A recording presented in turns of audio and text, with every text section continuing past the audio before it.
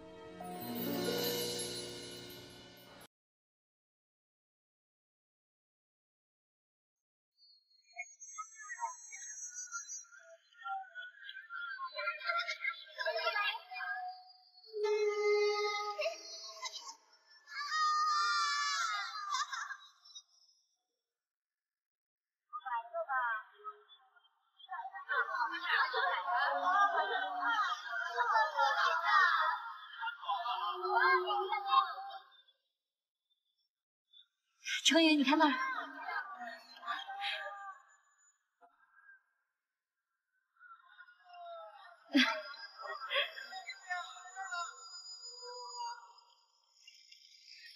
程宇，夜晚天凉，要不要加个手炉？不碍事。姐姐，程宇现在身子好多了，没那么怕冷，太热反而燥。行，都听真真的。小弟，再往前走啊，就是火神庙了。每年花灯节那里最热闹了。是。母亲会不会担心我被人看见不舒服啊？你又没做错事儿，怕什么？放轻松。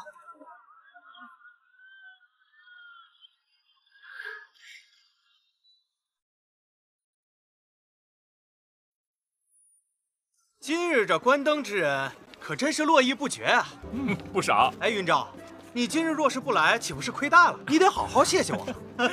可不。哎，前面怎么那么热闹？是不是上了最好的花灯啊？哎，对，我也听说了，今年的花灯啊，样式繁多，别致新颖。走，咱们赶紧去看看。走走走，看看去。今年的花灯啊，真是不错。哎，文明兄喜欢在白日里看花灯吗？白日看花灯啊？我认为在白日里看花灯也别有一番滋味。我可没有这般雅兴，我只喜欢入彩遥分地，繁光远坠天的盛景。还是老样子啊！哎，云长，你看那个，若今日关灯遇见了那方家小姐，该如何是好啊？对啊，怎么办？顺其自然，只要我们静观两岸风光就好。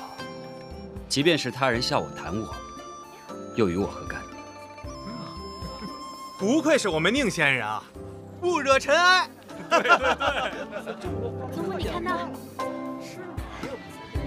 祖母，一会儿我想先离开一下。哎呀，今天过节，松快些，不用陪着，都看灯去吧，看灯去吧，啊，看灯去，看灯去。我来吧，表小姐。好。哎呀，程宇，出来好吧？啊，好。哎，你看那边。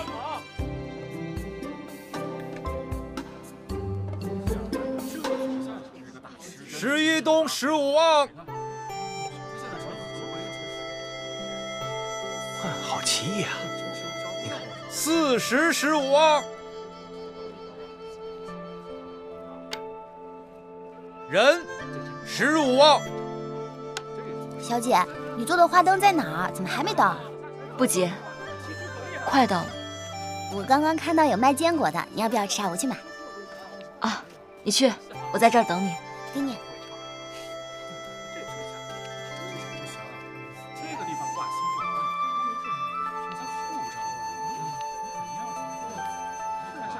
我输了。各位，还有没有打擂的？你这齐公子先别急着下场，等兄弟几个玩够了尽兴了，你再下场惊艳四座啊！我来，好好下，可别输了，丢了面子。嗯。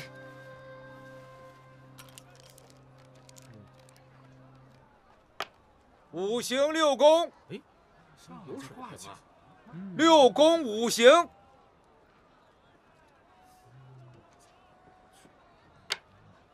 错了。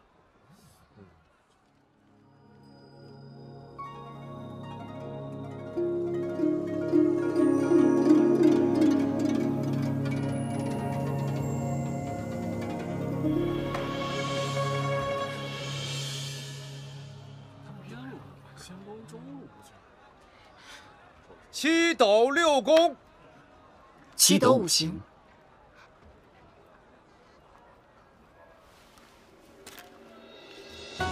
六宫六宫长，六宫四十，七斗六宫，十八星八方，十八松七斗阶，十五旺十八松，十四至十六相，五行十九克。小姐，请一步。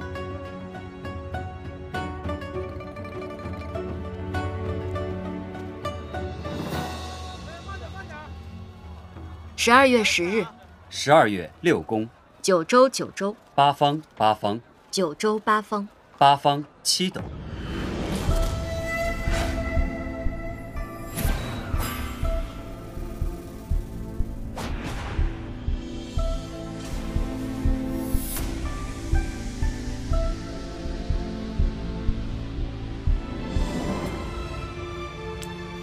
天七斗，十一东地，四十天，人天，六宫天阶，九州六宫，八方五行阶，十六象九州，十七星十日阶，十九克七斗，十九克九州，六宫十四至，天六宫，天。五行，天，八方。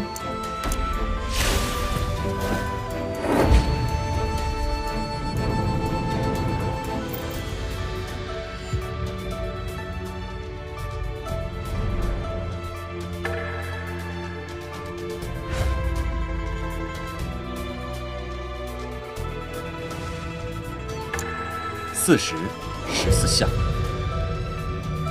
五行，十五旺。七斗十三闰，七斗十五。旺，十日天，九州天，十一冬天，十一冬人，十五旺六宫，十五旺五行。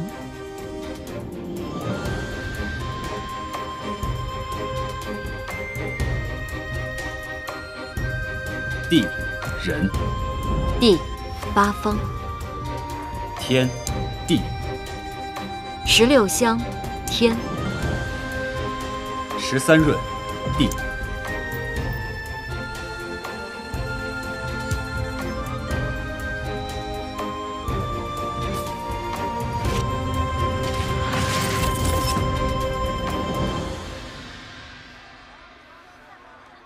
小姐棋艺冠绝，令人佩服，在下甘拜下风。公子无需自谦。无需自谦，这句话应该我跟小姐说才是。小姐落子果断，思虑周全，走一步思三步，的确是棋高一招，绝非是侥幸而成。不过，最后一子，小姐为何不落？是不想让我输得太难堪吗？自然不是。胜负已分，何必多此一举？见棋之人，公子棋风清雅，今日对弈甚欢。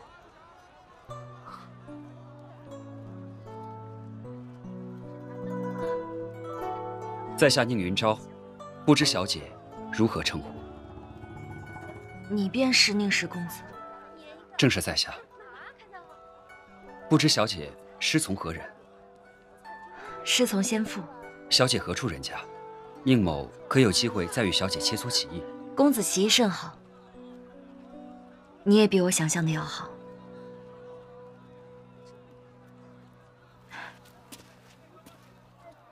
送你。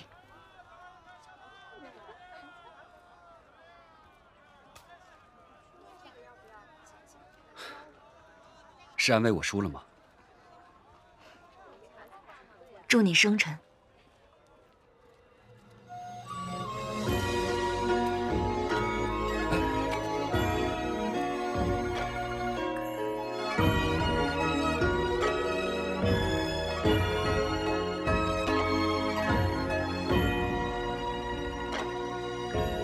毕竟他与真真有过婚约，如果真真在世，必定会满意这段姻缘。这灯就替真真送给他了。云章，我输了。哟，哼，你什么时候也会收花灯了？何人相赠？哦，只是遇到一个赢了我棋的姑娘。赢棋？下棋？你何时也下了棋？不对啊，你这小子可是八岁就观棋不忘，二十岁就入通幽之品的神童啊！这天底下还有哪位女子能赢你棋？哪家的小姐啊？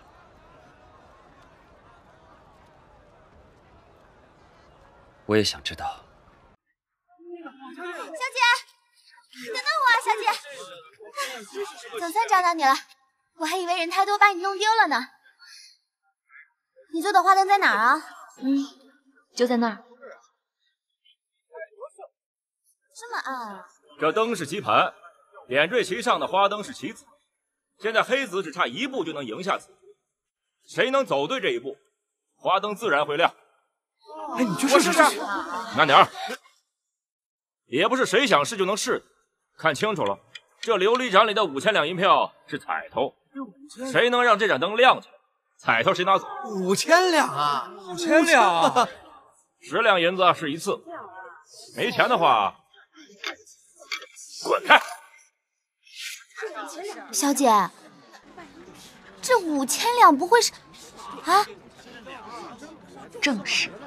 你拿宁家退婚，你拿宁家退婚的钱来当彩头啊？这要输了，我们不就全完了吗？放心，这世上没几个人能解开这个棋局。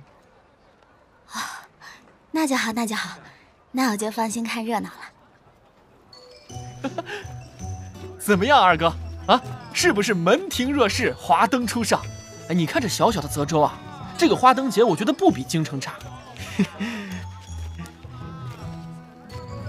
二哥，你最近太累了，就当放松一下嘛。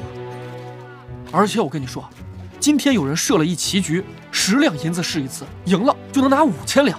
我觉得今天我志在必得，哎，志在必得。哎，二哥，华堂，二哥，你看，我要去办正事儿，以后这种不相干的地方不要叫我。嗯，二哥到了，前面就是了。二哥，别别别，别走，你就陪我试一下。上对不住，方家表小姐在前面设了棋局，去看看。啊，走走走走走走。棋局？区区十两银子，不过是泽州一家上等脂粉店里的上等胭脂，不过是一套定窑的粉彩茶具，不过是鲁阳楼一桌上等席面，不过是一根北狼毫笔。小姐，这话也是你教的吗？不是。来泽州这么久，的确有些囊中羞涩。二哥，你变了。我变了吗？没没没没没变没变没变没变没没没没变没没没没。都看什么呀？十两银子就能博五千两银子的机会，你们这辈子就能碰见这么一回。这个看灯人知道的还挺多，看起来经常走南闯北。我是个买卖人，我来做这笔买卖。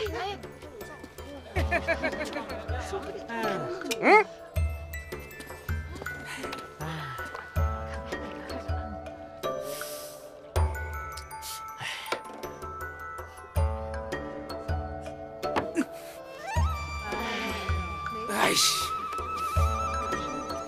小姐，我们赚了十两银子。瞧瞧，快来！来试试。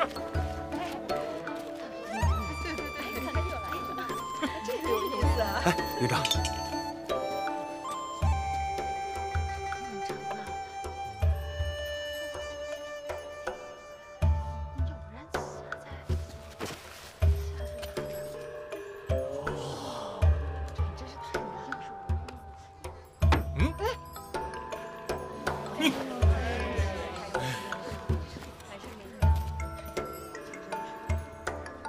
哎，云长，你可是从小棋艺精湛，你上去试试。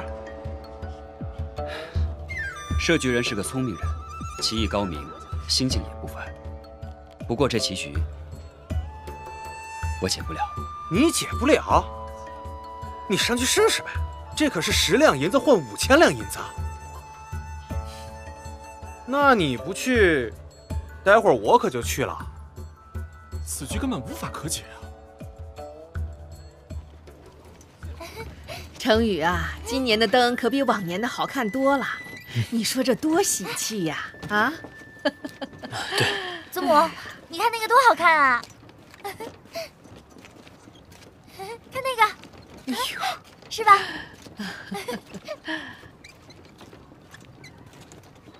祖母，你知道珍珍去哪儿了吗？她怎么还不回来？人多热闹，一时高兴忘了呗。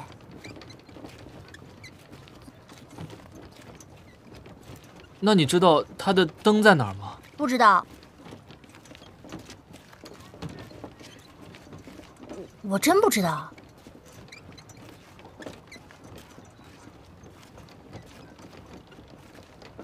祖母，我有点累了，我们回去吧。成宇，没事吧？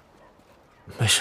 哎呀，是累了，这逛了大半天了，走，回去，回去，回去，回去啊！哎，祖母，我还没玩够呢。回去了，姐姐。你看那个多好看呀！快走吧。我来试试。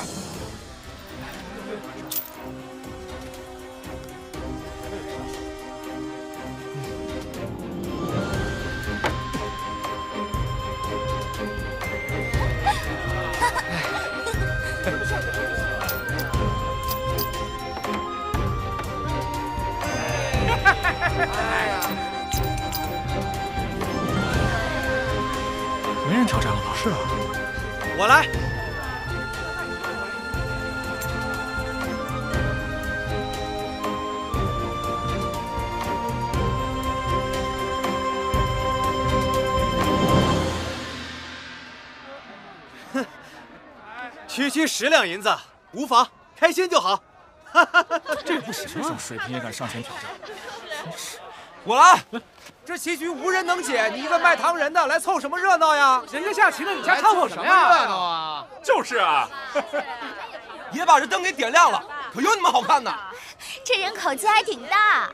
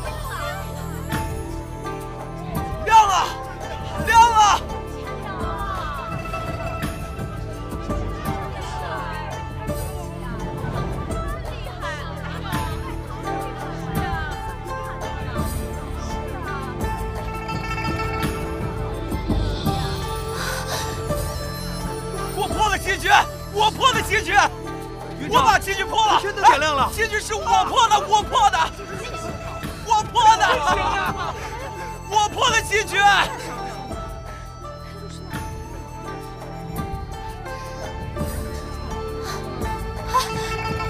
强啊！试五次，哎呀，早知道咱们也去啊，可以买套。会下不会下，这棋局反正是我破的。剩下的碎银子给我送家去。还我们的银子！小姐，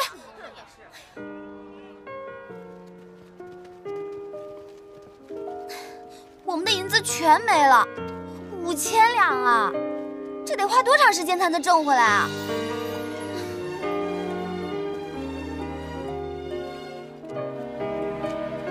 小姐，小姐，啊，我刚刚说笑的，五千两而已嘛，你那么聪明，很快就能挣回来的。我不是在想银子的事儿。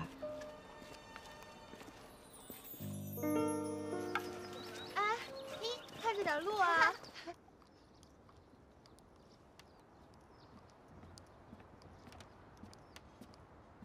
小姐，高管事，这位就是昨晚刊登人雷中莲。哎，干嘛呢？无碍的，高管事，昨晚见过，你做的很好。小姐昨天晚上也去现场了。我做的灯，自然要去看看。哦，那小姐知不知道最后是谁赢了彩头啊？我听大家都喊他陈七，啊，对，是叫陈七，一个卖糖人的。其实他不会下棋。他不会下棋啊？那他是用蒙的蒙走我们那么多银子啊？雷师傅，今日请您来，也是想向您问问，昨日结束之后，您可有发现什么可疑之处？我只收了刊登的钱。灵儿，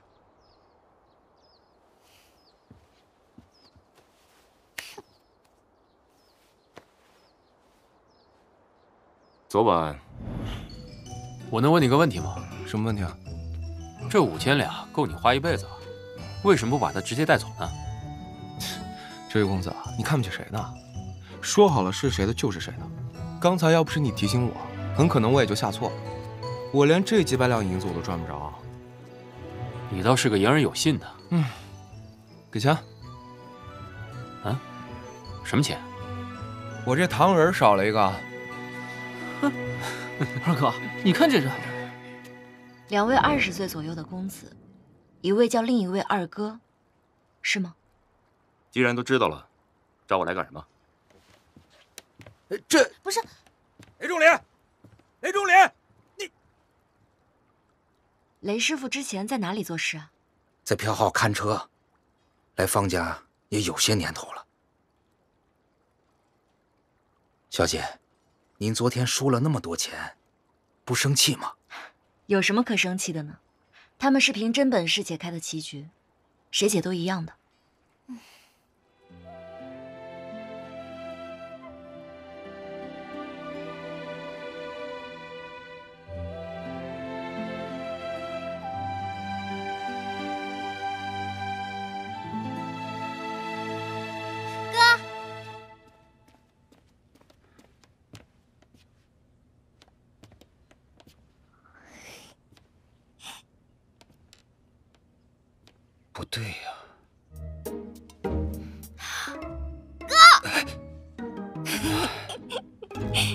燕野，又淘气。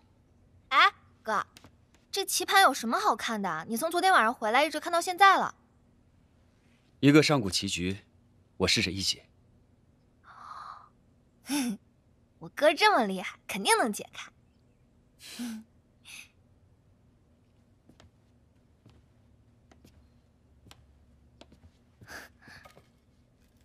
哎，哥，这灯还挺好看的，我拿回去了啊，和我屋那个凑一对儿。不行，我又不是要拿走，我就拿回去摆两天，我就给你还回来。你要喜欢这个款式，我再去给你买个新的。你来找我是有什么事吧？哦，嗯、母亲让我来问问你，回京的日子定了没有啊？哦，我过几日再走，我自己会去和母亲说的。哦，那哥，那我就先走啦。哦哦，好。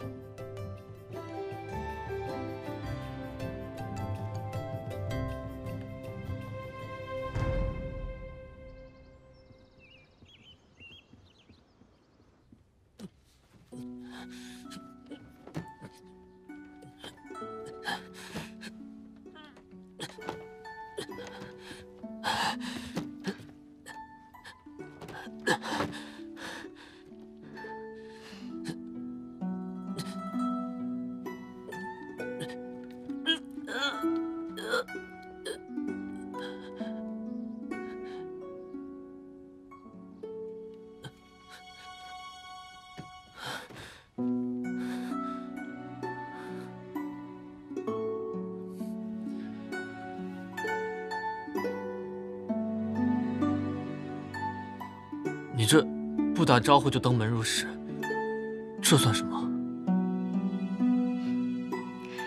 三桃叫我来的，我看你心情不错，就没好打扰。昨晚玩得很开心吧？还不错，哦，难怪一去不复返。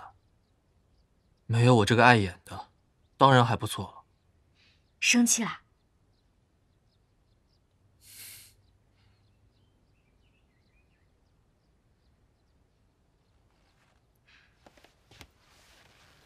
好啦，都怪我昨天一心只想着灯，耽误了时辰，没好好陪你。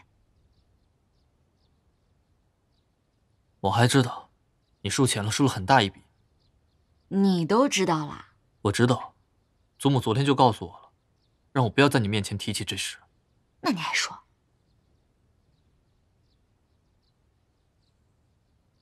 我乐意。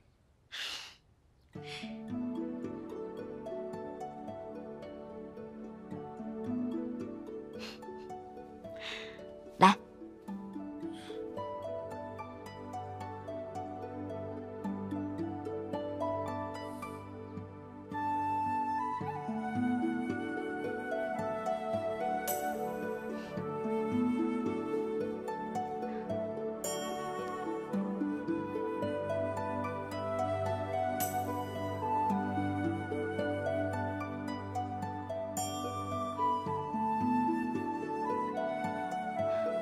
复的不错，马上就可以药浴了。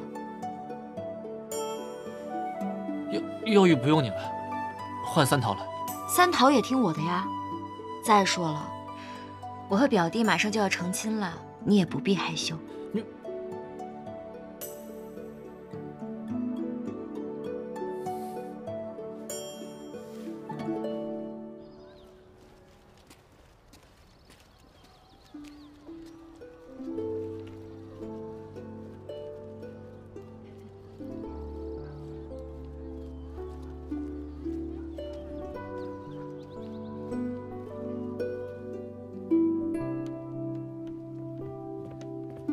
公子，有人找。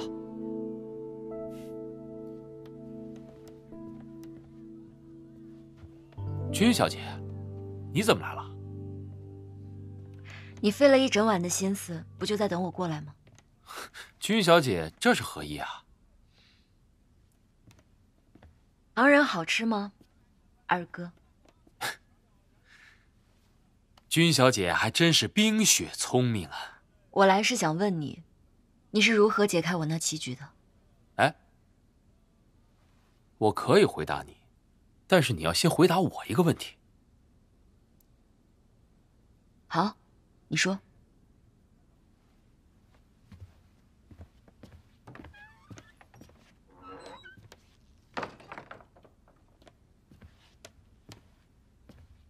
德胜昌是如何发家的？你问这些做什么？啊，我看德胜昌生意兴隆，所以想学一些生意经，赚点小钱什么的。值得你到灯房找我，又在花灯节设计赢了我五千两，再引我过来？值得啊！哎，我还没问完呢。一般的货运都会记录客人的名单，比如说目的地和姓名。那德胜昌往来的客人众多。应该会留下单据吧。他果然在查泽州隐秘。公子真是高看我了，如此机密之事，我一个外姓人怎么会知道？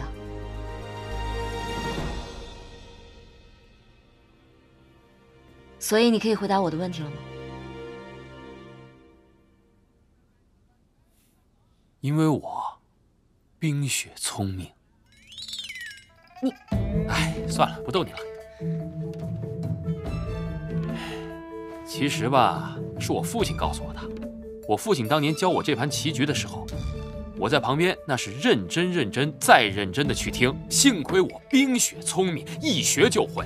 旁边看棋的人都大声的称赞我说：“哇，世子爷好聪明啊，真是盖世豪杰，冰雪聪明啊！” 我。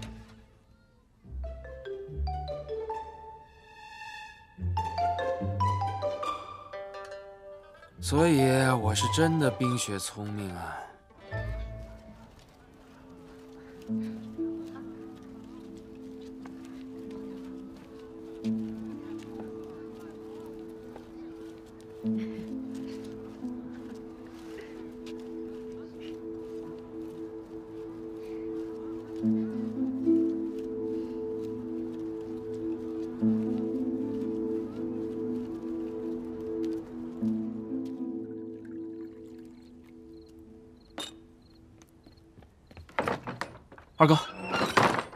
云霄阁把药材查清楚了，治什么病的？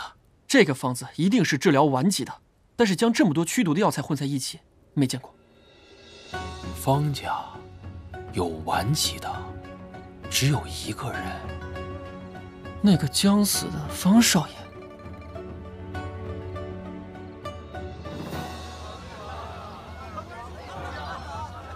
通通给我放到一边去，放马啊！好嘞，掌柜的。哎呦！俊小姐来了，是掌柜的。上次我给您预定过的药材可到了？都到了，您稍等，我这就给您取去。有劳。哎，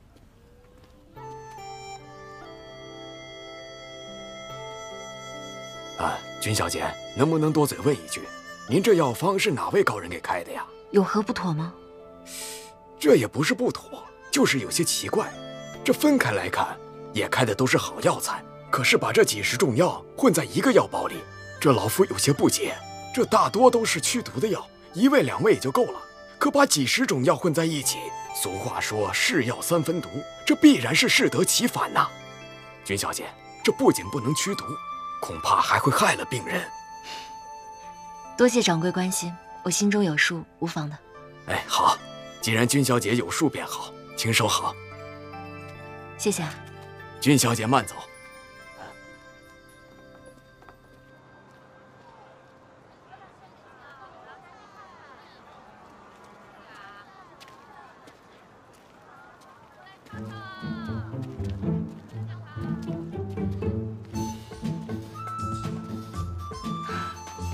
怎么哪儿都能遇见你？遇见我很难吗？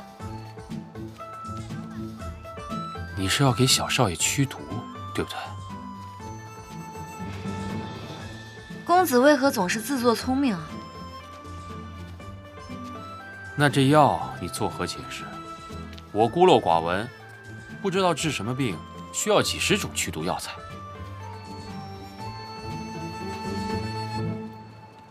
我是大夫，拿些草药做研究，有何不妥吗？哦，这么说也说得通。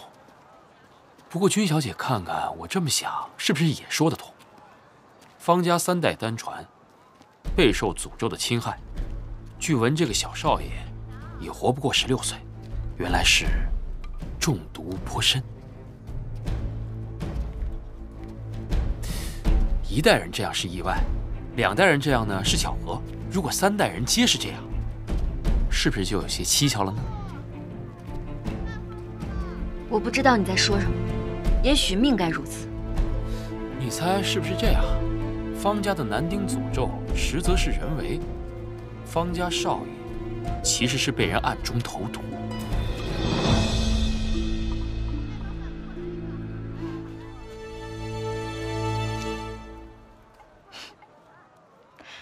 公子真是聪慧啊！但是我给程宇治病本无不妥，又与你没有干系，还请公子行个方便。姑娘放心，此事不会外扬。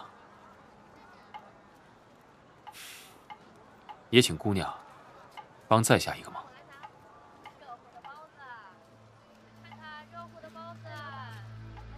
借助身份之便，帮我查一下方家历年的货运客人名单。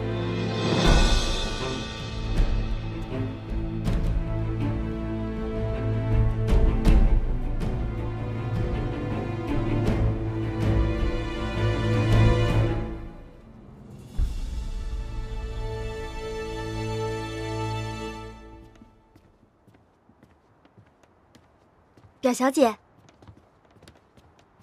有您的信。哪里送来的？宁家。啊。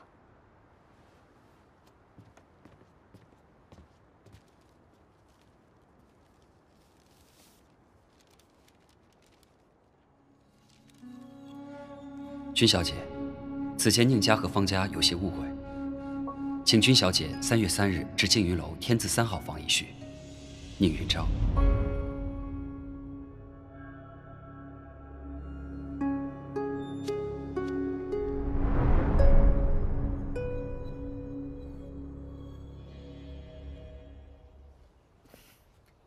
真真，我就不信你不上当！爷爷，你出的主意妙极了。有了宁公子这封信呢，他必然会来。到时候他清白名声尽失，日后他还敢妄想宁公子吗？哼，没错。只是我们这样做会不会太过分了？你就不怕？那怎么算？是他君真真犯贱在先，他先讹了我宁家的银子，然后还屡次三番的给我们难堪。我这也算是一报还一报，对。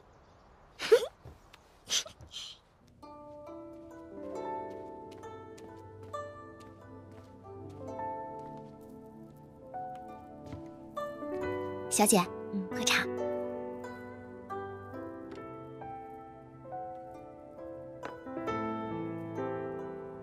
小姐，宁公子的邀约你去吗？这信虽然是宁公子的小厮送来的，但也不见得是他所写的呀。这是为何啊？宁公子出自书香门第，行事坦荡。若真有什么在家中不便说的事情，想必也不会约在像雅阁那种女孩子会为难的地方。当然，这也只是我的猜测。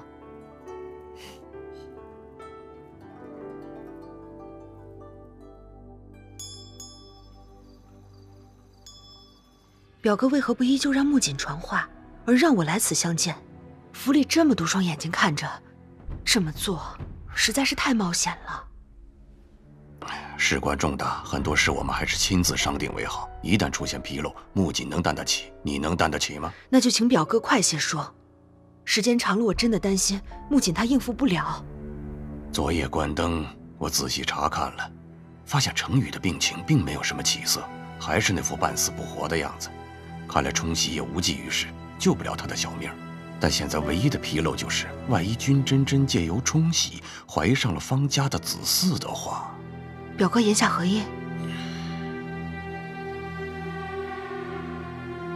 如果君真真死了，在这么短的时间内，方家上哪儿再去找一个自愿能够冲喜的女子呢？你要杀了君真真？哎，没有人要杀她，只是她命不好，遇到一点小意外而已。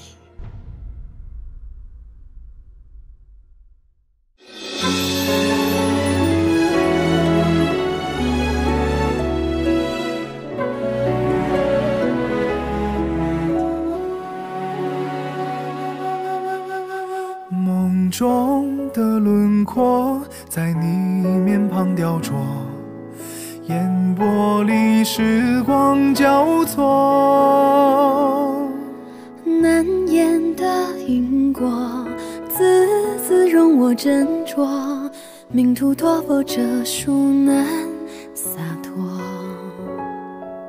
明日何其多，愿将一世交托，共看繁星与山河。许久的承诺，人海两岸相隔，叹一句奈何，余生颠簸。辽阔天是你，风是我，终将被路过。风中追不舍，雨天焦灼。若回忆可以说，生生如雨下落，相见难相逢，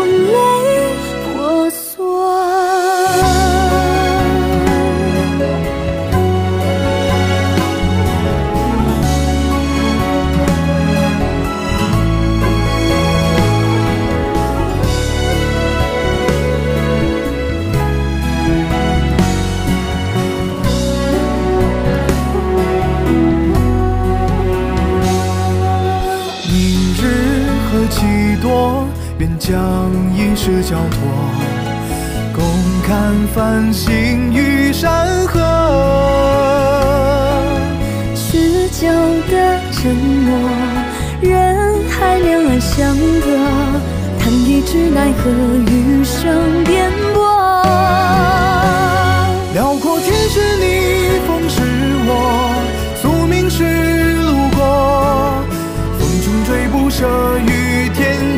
焦